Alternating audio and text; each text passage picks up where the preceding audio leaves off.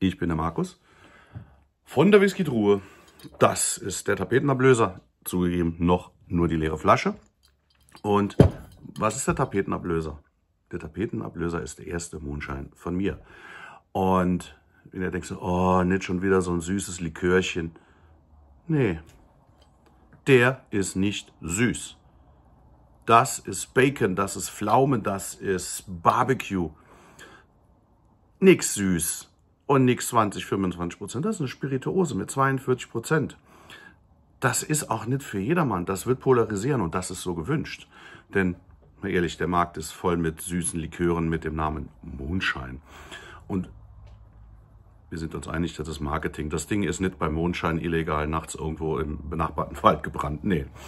Aber deswegen brauche ich eure Hilfe. Bisher haben wir es im äh, örtlichen Obstgartenbauverein brennen können. Ich möchte aber den nächsten Step gehen.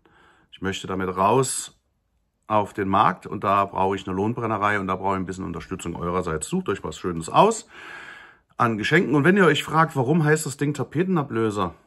Ja, damit könnt ihr bei genug Intus euch die innere Tapete ablösen. Aber gebt mal bei Google oder bei YouTube ein Abmahnung Fototapete, Whisky-Truhe, lest und genießt das Schauspiel. In diesem Sinne, ich wünsche euch einen schönen Tag.